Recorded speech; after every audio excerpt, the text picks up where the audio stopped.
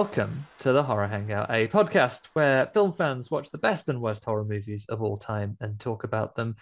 It is another one of our Fright Fest special interviews. Uh, my name is Andy Conduit Turner, and I am joined today by Steven Pierce, the director of Herd, a well, we'll talk about Herd a little bit, but it's a film that it is premiering worldwide global premiere at Fright Fest this year. At time of recording, just a few short days away. Steven, welcome.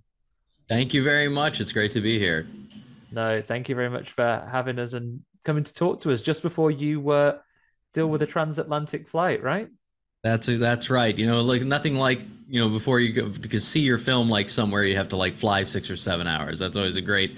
That doesn't add any in sort of anticipation. Yeah, if you could just uh, try and be as jet lagged as possible for uh, exactly for watching yeah. your film with an audience for the first time as well. I imagine you probably through the editing process, you've probably seen every film of the frame of the movie several times, right? But first time seeing an audience that you don't know personally reacting to it, right? Yeah, absolutely. We did some test screenings way back when we were in the edit, like you know, with some audiences uh, in New York where we're based, and uh, then did some revisions and some even some you know small reshoots and re-edits based on all of that. But most of those people were you know either friends of friends or colleagues or people somewhat attached to our world. So this is the first time you know seeing it with a big audience. Um, you know, obviously I've seen it many, many times. There was a week where we were doing color and mix, you know, in in the U.S. and I was flying between Atlanta and L.A. finishing it, and I watched it 12 times in one week. And so that was a lot of fun. But uh, yeah, so I'm. Uh, it's been a little bit, and I'm very, very, very excited to see it. You know, at, at Fright Fest, it's an awesome they've kind of sort of given us a great opportunity to show it too. Like you know, we were watching Saturday night on the IMAX, and it's uh, going to be. I mean, I'm hope it seems like it's going to be a pretty full house, a lot of lot of eyes and ears, and so you know, and it's always sort of terrifying for a filmmaker whenever you put something up on that big of a screen because you know we see it a lot on a normal size screen, and I've watched it on everything, but that you're going to blow up everything we did super big, so just hoping it holds up. Oh, I can tell you, as someone who had to go and get their tickets manually, ready to come and attend this, uh-huh. it's going to be full. Literally, it was an exercise in real life horror, getting on to book the, the screen passes, literally seeing the seats disappear in front of your eyes that were going to be available. I think you're in for a fairly packed, uh, fairly packed event. That will be so so awesome. Um, I, really hope that's true. It was we were really honestly very surprising and very lucky that uh, yeah it seemed like it sold pretty quick and they added a they actually added us a second screening on Sunday. I um, saw that. Yeah, I mean, congrats. Obviously, it goes to show the level of uptake that's going to be happening if they've added added a second screening. I think a few, a couple of films, but by all means, not all have had to have extra screenings added. Yeah, it's a real. I mean, honestly, the Fright Fest has been the whole team there has been amazing since they, you know, told us that they were, you know, willing to have us be a part of their thing, and it's it's just continued to be an awesome experience. So, as we're talking Fright Fest already, I want to go back in a little while and talk about your history as a filmmaker. But why why Fright Fest for the for the premiere? Is it logistics? And that's you know the film was ready and this is the this is something that you know falls in the right time of year? Or is it something you wanted to go for? An international premiere to start your your movie. How did you make the decision that fright fest is going to be the one you were going for you know, a little bit of column A, a little bit of column B. I think, you know, our film is coming out in the US. It's ended up, we've ended up having a really interesting sort of sales track where we're going to be, we've started selling internationally before we started selling in the US, which is a little bit uncommon. Um, but we ended up, it's going to work out to where um, it comes out in the US on October 13th in theaters. And um, I believe it's coming out that same weekend in the UK and potentially some other territories as well. So really, it was all about, you know trying to we've been trying to as much as we can be patient and funnel all of our resources into a single sort of release. Because to be an independent film there's a limit on the marketing spend that we have that a lot of that the studios don't.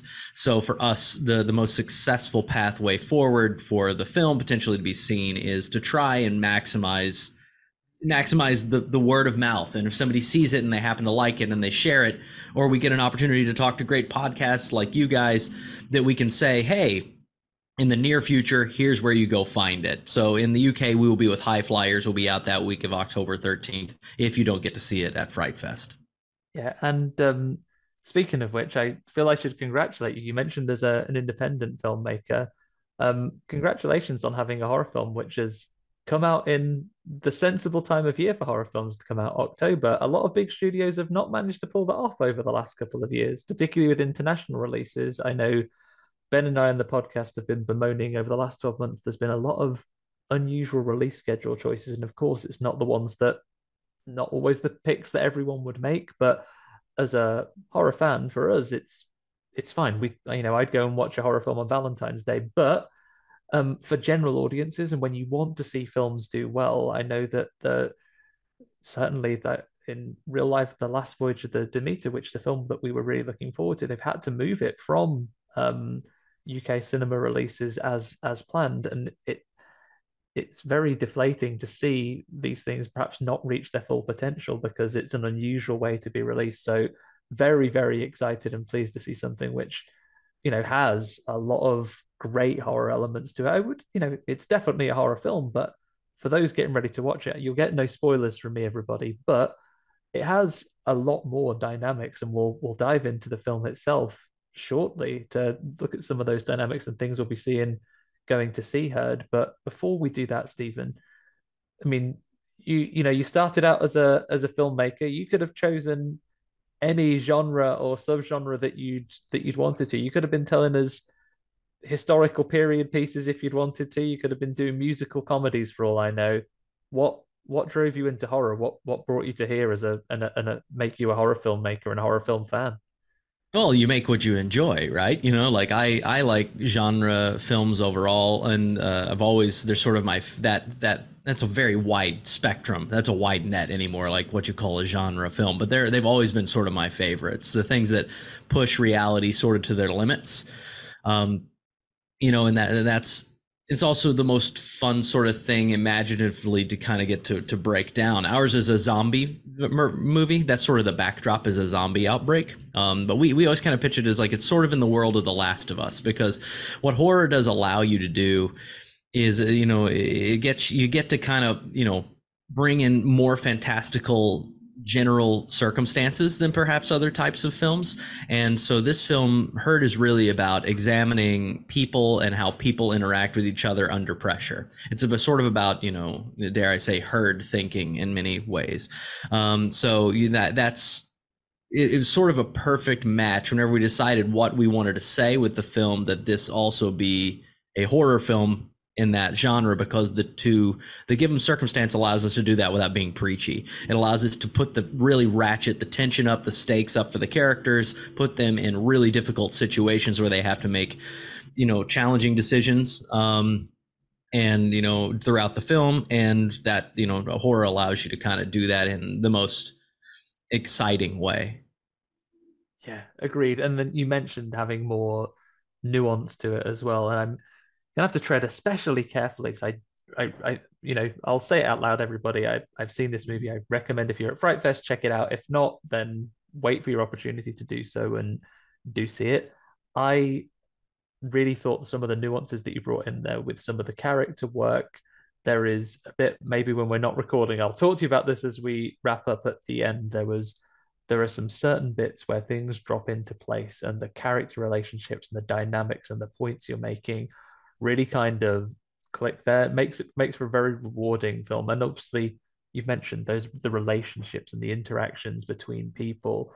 Um, you know, not one to draw parallels, but if you look at some of the focus that I'd say some of the very best elements of things like The Walking Dead, certainly in written format, did that the focus not on you know the the zombie outbreak and the things are sometimes often a backdrop to the story you're telling right? The interactions between the characters and the focus on those the you know the high stakes situations they're in feeds into what's going on with their relationships as well. And i thought it was very nicely explored.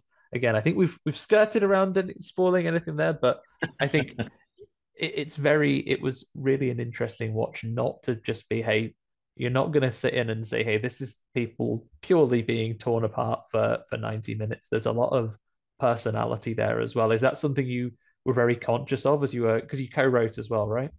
Yeah, absolutely. My co-writer James Allardyce is also the, the, the lead producer on the film. We've worked together for a decade, um, and he on, on, everything from documentaries to commercials to short films to you know series that we've been showrunners on, and we talked a lot about the film and what we wanted from it, obviously, throughout writing it and then throughout producing it. And gore wasn't one of our real goals. Um, you know, we think I think he and I I really enjoy a good gore movie. You know what I mean? Whenever they come in they're fun. Um, it's not the movie we wanted to make. For us, we constantly challenge ourselves to be like, why does this story need to be told? So we'll frequently write a screenplay or beat a screenplay out or outline it and get to something that's really fun and we think it's great. And then we just turn to each other and say, like, yeah, but why does this need to be told? What is the point? What is the lasting power that you're trying to say? What are you adding to the world other than just minutes of entertainment? Um, and not that there's anything wrong with that. That's just the challenge we always present for ourselves. Um, and that you know is sort of what led us here to this exploration of character and that that whole that whole sort of thing. So you know we while writing it, we wanted to make sure that it really is you know you know everybody says we try and make the characters really solid that is obviously a goal for every screenplay and every writer for us um, we put them right at the core and right at the center of it and we tried to create characters that have constant you know needs that are not necessarily going to align with the people that they meet. The people they encounter might have a conflicting need or might have something else and that for me makes it really the most complicated most dynamic sort of storytelling because to get what i want from you as another character i have to find a way to convince you or force you or get away from you or something. But it, it's not an easy path. I don't just ask for what i want and get it. Um, so i think that that was part of the goal.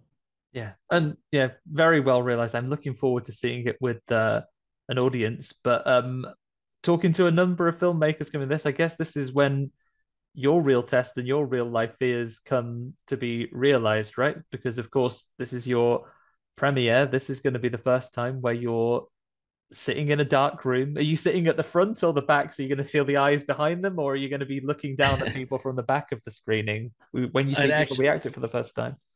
I don't actually know. Uh, James bought my ticket. I just know I'm following him around. So I think I'll probably be a shaking pile of mess at this point. So I like he. I don't even think I have. He's he's telling me where to go sit for my nerves. But and, you know, I, I yeah, this is where the rubber hits the road, right? You know what I mean? When you you sit in a room and you create something and you work on it and you read it and you ask colleagues to read it and you put so much pressure on it and you work on it and making an independent film if you've ever done it is is just one of the most challenging things I think that exists in the world. It is so hard constantly, and there's so many obstacles you have to overcome, not only in like the physical sense of doing it, but in the financial sense of actually getting things together to make it. Um, just everything always seems to be constantly against you. So I think we're taking the approach of like, look, we made it. I'm very proud of it. I think that we made something that I will totally can absolutely stand by that I believe in what it says. I believe in how we made it. I think we did the best possible job with and we left no stone unturned. There's always things you wish you could do a little more. You wish you'd gotten a little more of this action sequence or we could have expanded this. There were scenes we had to trim initially to get in there, but we tried to rewrite it and compromise and flex things to make up for it and you know, it, it is what it is to a degree where we are if I was sitting here and I wasn't really happy with the film, I'd feel a lot differently. I feel good about it. That's the best you can do. You know, we did the best we can. We tried to tell a story that we thought would be meaningful and entertaining. Um, and now we see what the audience thinks. And then you take those notes forward with you. You learn from what happened here and you go and you make the next one. So when you're sitting there in that room, um, what would be your your dream scenario? What what do you want to hear people saying, and what do you want to see those reactions as they, you know, the lights come back up and they step out? What would be what would be the what would make your trip to hear mm. people saying and reacting as they step out? You know, it's uh I want people to find the film entertaining. Like I hope that they engage in it and want to watch it. Um, and you know, I'll be holding my breath through a certain scene in the you know the first act of the films. I truly believe if you make it through this section, if you make it to this scene, you're in. Uh, and if you don't make it to here, it's probably not your movie.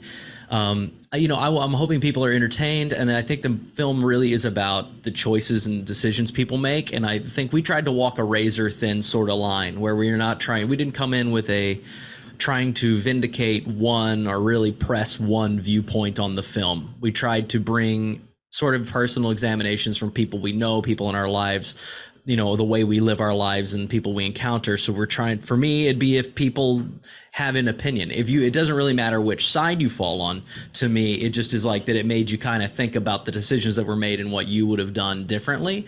That to me is sort of the win because it's not just an entertainment piece where you're supposed to fall through the story. If you get to the end and you're like, well, I thought this was, you know, I don't know why she did that or he did that or I wouldn't have done that or that was so dumb. Like that to me is sort of about what it's about. It's about how you would make decisions on you think under these sort of high pressure situations. Yeah, I think that was a for me a, a nice triumph of the film there. I feel like in the particularly polarized world that we live in at the moment as well, where you know culture wars are a fairly standard thing I think you could watch the several audiences could watch this, and you're going to come away with different characters that you identify with. I think you could be sitting in the cinema screen, particularly one that filled up very quickly, and you're not necessarily sitting next to people you know. One of you could walk out and be like, "This is my guy of the film," or "I would have been like this guy," or "I would have joined this faction," or "I would have thought this," like you say, or you could quite happily be sitting next to someone you've had a perfectly lovely time with at the cinema, you've met at this event, who could identified with a completely different set of characters. Yeah, I think it's yeah. yeah, it's I think for me one of the interesting parts of the film was that kind of dynamic and the space it's got to um grow as well. I think one of my bugbears I sometimes have with the with a film is when there is no room for imagination or change and it's like no this is the answer this is how it was the next 20 years of their lives mapped out like this and this is what happened having mm. this where it's like oh what did this person do or how would they have reacted or how were they you know not just in the aftermath but what took place to get them where they were today as well um nice character yeah. work that you can jump in as that snapshot and you can be brought on board with where they are I appreciate that, Andy, and that really, honestly, every time I hear that, which I've not heard it very often because we haven't shown the film very much, is like it makes me feel very good because that was sort of the mission, you know. so thanks for like first of all watching it and second of all i appreciate that you took that away from it. Um, you know i think the film itself is you know Herd is about two women going on a camping trip. They're trying to save their failing marriage and they end up trapped between warring militia groups and a zombie outbreak and really it comes down to the lead character jamie. She has to fight for love and survival basically. And she's gone through you know obviously it starts she starts in a negative place and the story is about her sort of falling back in love through all these different things and learning to face her demons, her own demons, which she's trying to run away from. So, you know, it that's sort of the main plot of it, but there are four or five other characters that have really, in my opinion, very deep and interesting sort of pathways to how they got into these worlds. And we end up with a couple different militia groups, and they, especially the main one we focus on is John Gruber's, and they, it's a very deep uh, to me, I think there's a lot of interesting things happening in there, and I think it echoes characters in real life that I've seen, and you know, they're then how they interact with each other in their own inner inner sort of fight. So yeah, that that that was you know really what we were trying to talk about.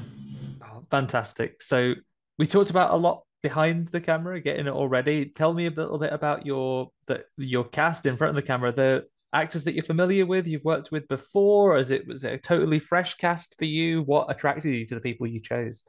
It's again a little bit of a mix. Um, you know, I'll start. We we ended up with getting incredible.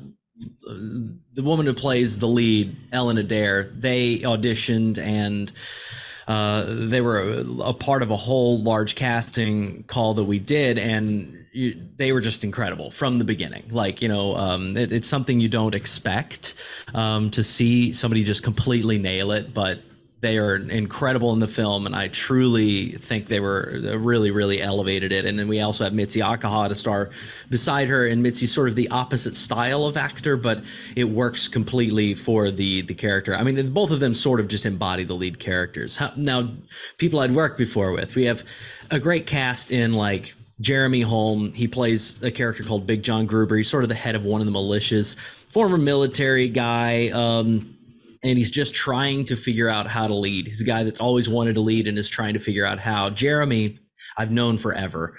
Um, he got me my first job in New York City in the kitchen at a, at a steakhouse when I got out of college because I just assistant directed him in a play at a regional theater. And he, he's helped me move to the city. And I've been friends with him forever. And he sort of always plays and the Ranger, um, you know, and he's like the film The Ranger. He always plays this tough guy because of how he looks. But the thing, if you know Jeremy, you know that he does have this. He was an MMA fighter. He is a very big, tough guy, but he's also one of the most like emotionally supportive and available people that you'd ever meet. So when we wrote this character, it was sort of an opportunity for him to you know, it was written specifically for him, somebody that looks, and that's when he's introduced in the film. You're meant to see him as the bad guy, and I think you sort of do. I, I hope that's sort of my hope is that you're like, ah, that's the guy to not trust, and then there's some prize, surprises that come with that. Not it's not exclusive. Again, he's a fully he's a complicated person, but there he he may surprise you as the film goes on. So, um, yeah, he's he's great. And then same with like uh we've got Dana Snyder, who's Master Shake from Aqua Teen Hunger Force. That seems to be like as the trailer has come out, people have really responded to Dana being in the films. I think people are used to hearing his voice and not seeing his face. But he and I went to the same school. I've known him for a while, and he's a very funny guy.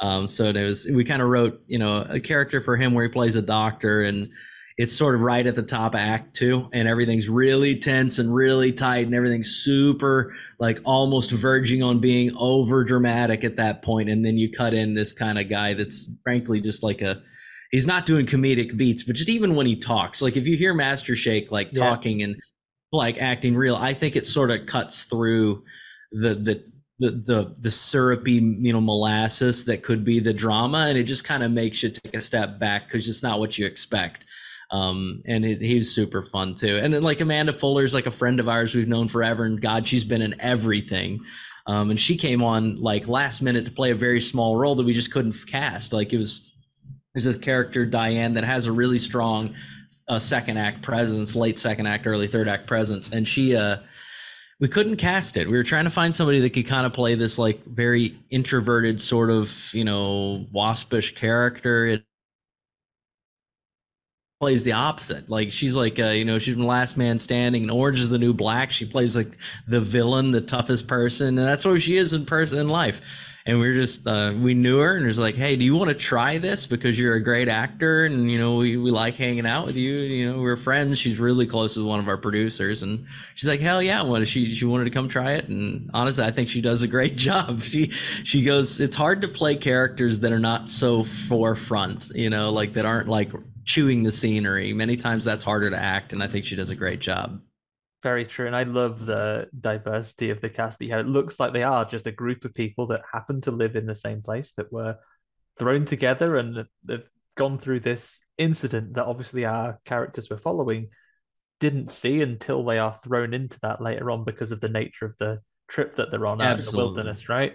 Which is nice to have Yeah. to you don't have to necessarily have those origin beats where yes, I know how this all Oh, yeah. began and all these things. It's nice to be able to get into this as it's already happened to do some of the interesting pieces, which, you know, when you're doing a like, you know, a 90, 100 minute film, sometimes is a necessity, right? How much of your time would you lose if you did right? This was where this all began and all of the all of the details. Like it's nice to see these things developing. Really, really interesting. Yeah, and that's a challenge. That's a challenge in any film. You know, feature films you feel like are so long. You know, whenever you're writing shorts, you're like, oh god, or commercials. Like when I get a chance to write a feature, it's gonna, you can finally have the chance to stretch your wings and get all the awesome story points in you want. And it's just the opposite, actually. I mean, you have to be so cognizant of how fast it moves. Um, and we do a lot of like the the origin story for Jamie. She starts off in sort of a negative place, really hard place for a character to start. Um, you know, and I think that that has been that's always been a challenge of the screenplay that we've known in the film, and we worked on it quite a lot, trying to make it move as quickly as possible while giving you valuable reasons to care for the lead character, hopefully. Um, and we also were very blessed that we got Corbin Bernsen on to play the father of Jamie, um, who's kind of her origin story is an abusive alcoholic father. And you only see him in the beginning of the film and then through a few flashbacks, but he's doing a lot of storytelling when you see him in a very short bit. And that's also intentional because it's supposed to be when she's thinking about it, she's physically being drawn back to where she's trying to get away from. She started in this area, she ran away from it because of her father kicked her out. Um, you get all this through the opening sections of the film, so I'm not really giving you too much away here. It's like, but then when we have the flashbacks, it acts as her memory. It's these things that these traumas that she doesn't deal with that keep coming up when there are these little trigger moments or these moments that she's just, you know, she's trying to run away from all of this. And Corbin is so effective He's such a good actor. Uh, in the opening sequence, the very opening of the film, it starts with the first zombie encounter, and you see him basically running away from a zombie and trying to trying to is this whole event is starting. And we were, I remember we were filming this sequence around a truck, which I think super fun. It's very fun and tension. He's kind of like hiding, and the zombies on the other side, and we're moving around, and he, I remember we were getting towards the back of the truck at one point, and he's like, you know, here, you know, we need, I need something here to interact with. There needs to be some kind of moment to break up this sequence because I just had him coming around the end of the truck and then going on, and and then the scene continues. And he's like, here needs to be a moment, and I said, oh, okay, well, what if we just put some wrenches or something here by the tire, like you'd been working on this truck, and it was up, it was up on a lift. Um, and he's like, that's perfect. And then he like stumbled on it, but he was just such a gracious and it works. It, I mean, if you don't, I've thought constantly, if we didn't have that moment in there, um, you know, it'd be too too sterile. Because when you write it and you're shooting it, you haven't edited it yet, and it feels so fast in your head. And that sequence desperately needed something there to break it up that I hadn't identified. And Corbin was just so gracious and being like, hey, here's an idea I have, and it really worked. And he could do anything like that with any of these flashbacks. He'd do just something small and subtle, and you're like, that's why you were such a great, great actor makes, and such a great success. Makes these things feel, makes the sets feel lived in and like real places, not like stage. One hundred percent. To do a play, right? You're having these like, oh, again, like the characters. It's like there were things happening before you were watching here. You know, there are tools out. There are yeah. So yeah, all all adds to the effect. Um, I understand that the team are coming live and in person in force to Fright Fest as well. How many of the cast and crew have you got coming over in total? So we've got a significant portion of the cast and uh, most of the filmmaking team, the producers and me will be there. Um, and you know, actually, it's very exciting. If you are coming, I don't know when this comes out, um, but we are having actually an opportunity to do a little meet and greet right before the screening in Leicester Square. There's a we're going to be meeting up at the uh, the, I think it's the Bear and Arms or something. It's like the it's right across the square from the theater. So for I think from four to five thirty, we're doing a little meet and greet with the cast where they're agreed to you know, like kind of come and anybody that's interested in you know seeing them before the thing, we're gonna do just a very light sort of hangout, um, and then go go screen this bad boy. So I mean, obviously, Andy, you're invited. Love to meet you in person. Amazing. Well, we'll, we will see you there. I'm traveling south at time of recording. It is uh, currently Tuesday. I'm traveling down south. Uh, Tomorrow I will be in London from Thursday myself as well. Um, ben is a super quick editor. He will have this, I believe, dropping on the feed. I believe this is going to be out tomorrow. So if you're oh my gosh, the day it yeah. comes out, then there is time. Get yourselves get yourselves over. Come and catch Steven and a very uh, jet lagged cast and crew to um, say hey. Although the rest of them have travelled earlier than you, right? So they've had they'll have a day or so to recover. It's just you Red Everybody else is getting the opportunity to go see a bunch of the other films and things. I've just had a, I've just have an infant at home. We just had a new baby, so I'm, uh, I, I, have, a, I have worldly responsibilities that I've carved away just enough time to come to London to to get the experience of Herd and a couple of other pieces, and then I got to come back you don't have to end up going on a traumatic canoe trip to try and repair your marriage for abandoning your family to exactly. go to the premiere, right? Although I'm not going on a camping trip. If that, I can say for sure, if that does happen, we are not going camping. Just go to therapy, more traditional. right, Steven. Just before we wrap up, I've got a couple of very, very important questions for you. Oh boy! The, the first okay. one is, of course, very, very important. Second most important question I'm going to ask Okay. Where do anyone, where does anyone listening to this, where do they follow you or your production company if they want updates on Herd or anything else you're working on? Where is the best place to find you? Social media is not what it used to be. So where's the best place to catch up with you? You know, the best place to follow me and the film is on Instagram. Uh, you can check us out at mine is at Steven with a V, the letter C as in cat, and then Pierce. So at Steven C. Pierce on Instagram. And Herd is super easy. It's at herd.film. That's also our website, herd.film. So that's where we've got a bunch of exciting premieres coming up in events in the US um, shortly after this and surrounding the release. Uh, it, we're going to have a lot of opportunities for people to go see it theatrically as well. That'll be, you know, in the UK, the US, and other territories around the world. And all that will be updated and carried on uh, herd.film, the website. That will, that'll have the most updated to date information uh, through the fall where you can find the film. Amazing. Thank you so much. And now the biggie. This is the real pressure question for you, Steven.